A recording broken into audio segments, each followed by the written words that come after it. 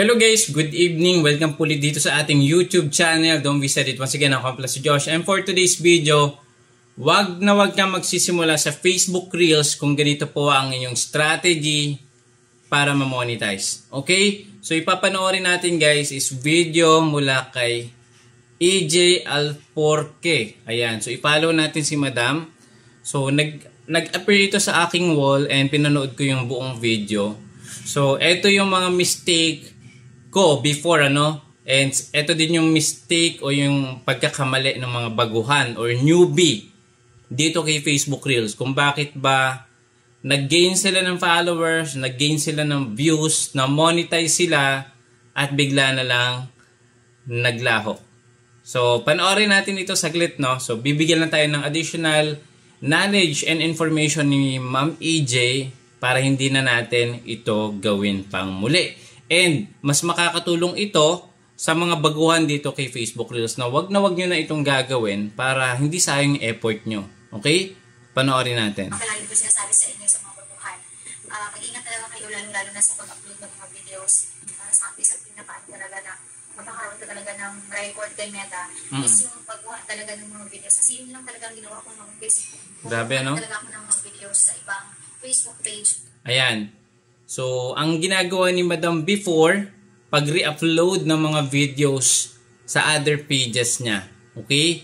So, ano ba yung ano ba yung ano dito, yung case or yung mabibigay na violation ni Meta?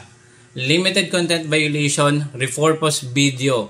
So, medyo mabigat po ito ano kasi totally pag nakailang video ka tapos naka-receive ng ilang violation, automatic ano yan, uh, parang strike no kung sa YouTube.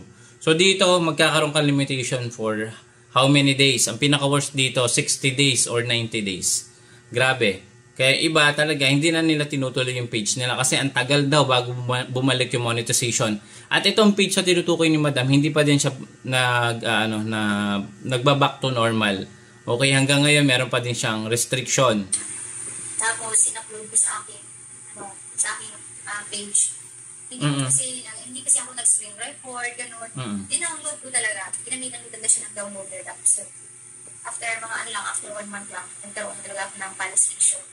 Ayan, ngayon, ako, ako pa rin yung ano, ang problema kung mm, paano ko lang sa Kasi hindi na mawala-wala. Diba? So, sayang lang guys, lalo lalo na nung nagkaroon ka na ng maraming followers. Mm-hmm. So, yan, isang pinakasayang. Ano talaga yung establish na talaga yung Facebook account mo. Mm-hmm. So, nakakatakot kung ano mangyari. Ayan. Wait lang guys, panoorin lang natin uh, ads. Ayan. Skip ko na po yung isa, no? Baka makapiright tayo. Ayan. Pero at least guys, ito mga ad support po natin ito sa mga creator ano kaya wag na wag niyo skip kahit sana isang ads, 'di ba? Tapusin natin. Ayan. Isa, alam ko na may mga kasama pa ako na nagkakaroon ng ganito. So sa mga katulad ko na may mga ganito, yung mga, mga record ng page quality mm -hmm. niyo, so pwede mag-comment check kung ano yung experience niyo para at least maka ano naman ako maka kuha ng idea sa inyo kanina ginawa ninyo. Mm-hmm. So, ito guys, ha-advance ko lang sa kanila sa mga baguhan. Mag-ingat talaga sa paggamit, lalong-lalo na sa music. Music, yes, right. Sa atin. So, mas mabuti na gumawa na lang tayo ng sarili nating video para wala talagang uh, para wala talagang problema, mm-hmm. para tuloy-tuloy yung pag-upload natin ng ating mga. So, yun guys, update ko lang kayo soon na naman. Ito, mag-update ako sa inyo. After one month, mag-update ako sa inyo ng ating earnings na dito para at least uh, yung mga baguhan, mas naginahan kayo, no, patuloy, kahit may mga violations, kahit may mga policy issues tayo mm-hmm. dito sa ating Facebook page, patuloy pa rin tayo sa Ganito lang kasi kung saan tayo masaya, di doon tayo pa. So, ito, mas pinili ko pong mag ano, sa inyo, share ng information yep. tungkol Thank you, madam. Uh, kung sa ating page. Kaya ito, kahit may trabaho, binibigyan ko talaga ng time uh, para lang uh, makapagbigay ako ng konting kaalaman naman Although na minsan hindi ako makapagbigay talaga sa inyo ng kung ano dyan na mga proof. Yep. Mm-hmm. Pero ito, kasi base sa mga experience ko sa mga sinasabi ko sa inyo. So in this ha, so sana uh, iwasan natin itong policy issue talaga. Yan. Okay.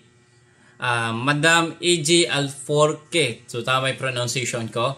So thank you so much Madam for sharing your experience na dito kay Facebook Reels. Etong personal account ni Madam E.J. Ayan, i-follow nyo siya. Na-follow ko na din siya. And guys, yung tinutukoy niya dito yung page niya, no, nagina ng followers, views, and nagkaroon na ng ads on Reels. But, unfortunately, uh, upon checking po ni Meta yung kanyang mga videos, hindi naman po sariling video niya. So, ang violation dito is limited content violation. Medyo mabigat po ito no pag limited uh, limited content violation. Usually it will last 30 60 to 90 days. Depende kung ilang beses ka naka-receive ng gantong violation. So, ano pa ba yung hinihintay natin at hindi na lang tayo guys, di ba, mag-create ng quality content. Like po, itong ginagawa ko, pwede nyo itong itry yung commentary ano, under siya ng fair use. So, bibigyan lang natin guys ng additional uh, modification yung videos natin. Ano ba yung modification? Lagyan mo ng editing, lagyan mo ng, um, uh, alam mo yon sangkap, no? Para mas maging quality or engaging yung mga videos nyo. So, sa mga bago, iwasan yung mag ano mag-re-upload ng mga videos lalo na 'di ba yung may mga trending videos ngayon na upload natin sa ating pages ginawa ko na din po yan guys lahat and Bottom line, ayun, ganun din. Uh, useless yung effort, useless yung time, useless yung internet, ano. Hindi lang yan. Yung pagod, grabe. So, mas okay, mag-create tayong sariling content natin. Thank you so much for watching guys. And hopefully, please, ma-share mo naman itong video natin na to para mas maraming maging aware ano, sa policy issue, lalo na sa content or limited content violation, copyrighted issue, Ayan, plug for behavior at marami pang iba. Okay, don't forget to subscribe to my YouTube channel. So, meron tayong ways to monetize, hindi lang sa Facebook, no? Nagtuturo din po tayo sa YouTube channel kung paano kumita uh, gamit itong mga videos na ina-upload natin sa Facebook. Okay, so see you again sa susunod nating video. Bye-bye!